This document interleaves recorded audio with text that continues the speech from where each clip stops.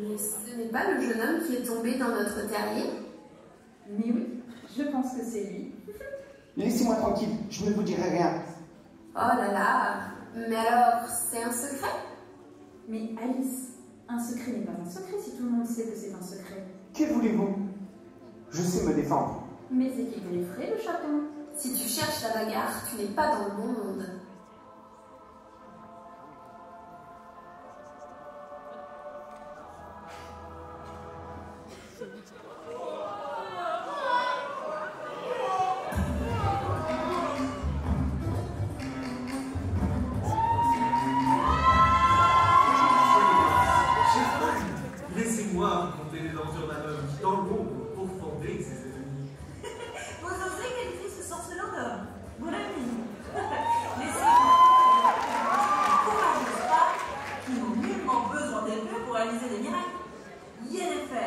Une magicienne à la vie mouvementée, d'une relation étrange, orageuse et pleine de rebondissements, à Geralt de le sorceleur.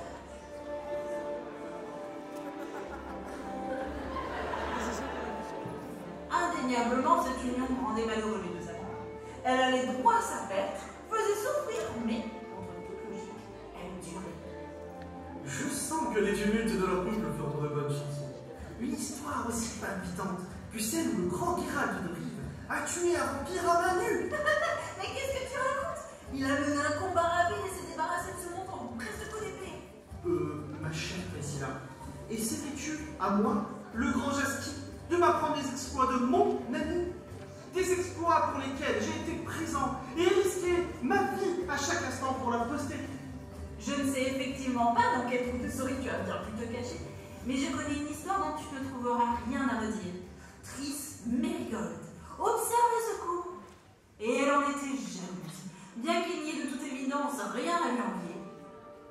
parvenait pas à le comprendre et cela la fascinait. À tel point que, qu'elle envoûta le sorceleur et dépanne un peu de magie. Le moment était opportun. Geralt avait besoin de chien. Et...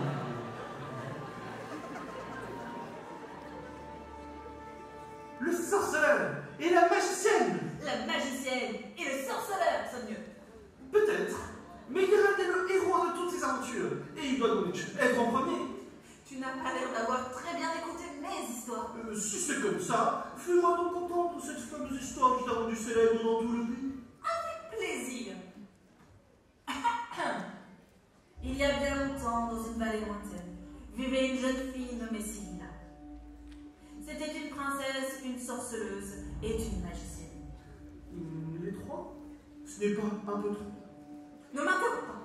Tu vas entendre l'histoire ou Je ne t'interromprai plus. C'est une histoire qui montre que la destinée peut s'avérer utile. C'était une princesse qui ne manquait de rien. Chacun pensait qu'elle deviendrait une puissante reine, mais le sort avait d'autres plans. La chasse sauvage, une horde de spectres venus d'un autre monde, s'était lancée à sa poursuite. Son sang était lié à une antique prophétie et était censé permettre d'éviter la fin du monde, poursuivi par la chasse sauvage. Elle trouva refuge auprès du sorceleur, qui lui apprit à se battre.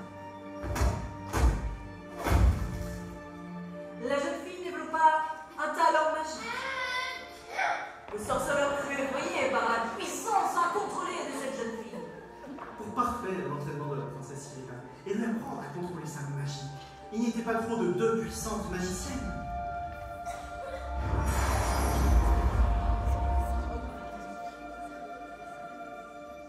Mais la chasse sauvage revint pour tenter de nouveau de capturer Célina.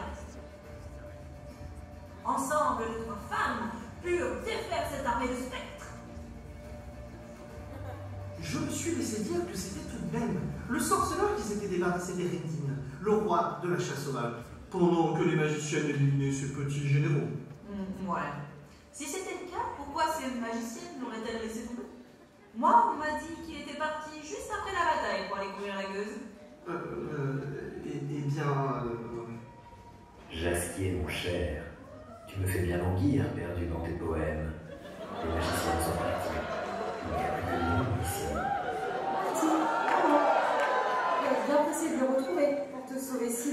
fois le combat terminé.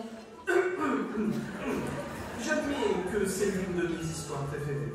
Mais je crois finalement, ma chère Priscilla, que les véritables héros, ce sont peut-être les bardes qui la chantent, et non ces brutes animées. Allons donc, les amis. Venez donc trinquer avec nous plutôt que de vous poser toutes ces questions. Et puis, que pourriez-vous bien chanter sans nous autres pour vous sauver des niches